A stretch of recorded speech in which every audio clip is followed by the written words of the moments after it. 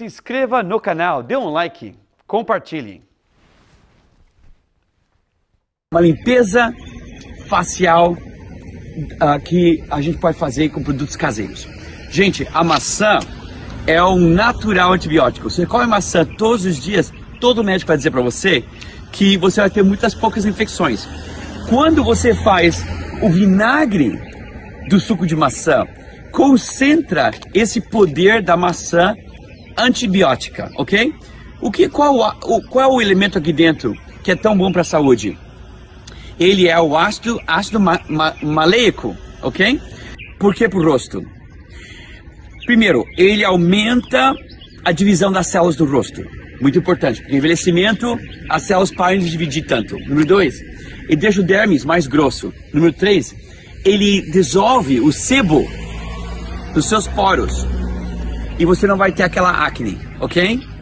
Ah, outra coisa, ele dá, ele, ele ah, leva o pH ao pH de, uma, de um jovem, ok? E a sua pele não racha, você não envelhece.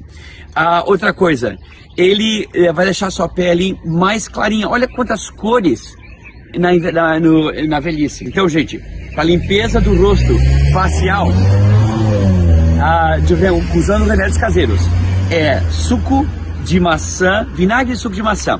Tem outros truques como ah, limão e mel, mas o meu favorito é suco de maçã, o vinagre e suco de maçã.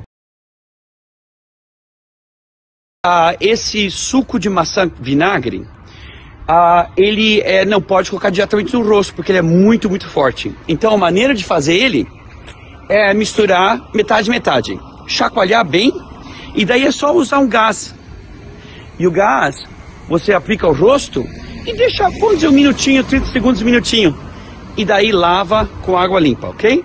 Vamos fazer todos os dias, ou dia sim, um dia não, para um rosto super jovem, um rosto, um rosto saudável, porque hoje se cuidar não é mais vaidade, hoje é necessário, ok?